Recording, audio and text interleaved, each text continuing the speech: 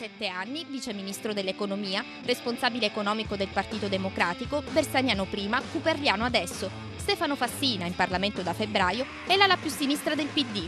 Iscritto al Partito Comunista dalla primavera del 1986, quando era studente della Bocconi, rettore Mario Monti, Fassina è stato consigliere di Ciampi al Tesoro nel Prodi primo e successivamente chiamato da Visco alle finanze nel Prodi secondo. Nel mezzo, cinque anni a Washington al Fondo Monetario Internazionale. Di lui si sente parlare spesso per le sue polemiche. Il rapporto con Matteo Renzi, per esempio. Non gli piace. Le sue riforme economiche hanno un valore finanziario pari a zero, ha scritto recentemente sul suo blog. Ma siccome crede anche che i partiti sono famiglie molto allargate, dice anche: Il PD non, è, non è orgoglioso di avere una figura come Renzi al proprio, eh, tra le proprie fila.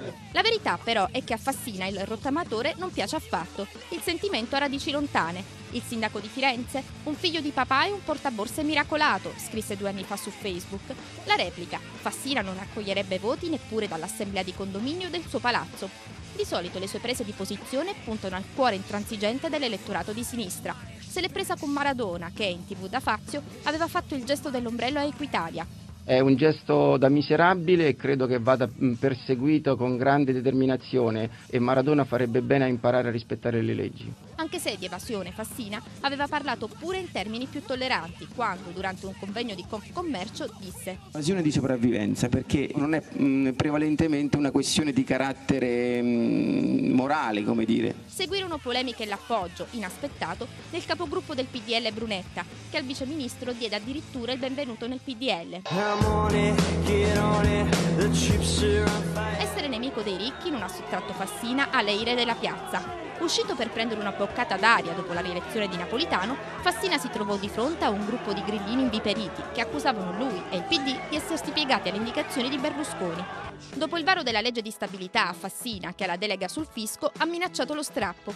Sentendosi tagliato fuori dalle scelte strategiche sulla manovra, minaccia le dimissioni. Questione rientrata dopo un chiarimento con Enrico Letta, con cui, per la verità, i rapporti sono da tempo un po' tesi.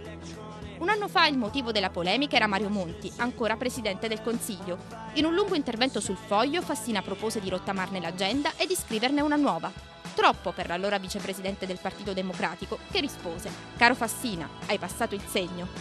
Il rapporto tra Fassina e Monti, comunque, è complicato dai tempi dell'università, studente il viceministro, rettore della Bocconi il professore. Lui, Monti, in campagna elettorale disse: Io credo che tagliare le ali, che in genere è una brutta espressione, ma sì. se per ali intendiamo Sell, le, le, le estreme. Insomma credo che sia una buona cosa. Fassina rispose, solo in Italia le posizioni che mettono in evidenza il fallimento dell'austerità vengono considerate troppo di sinistra.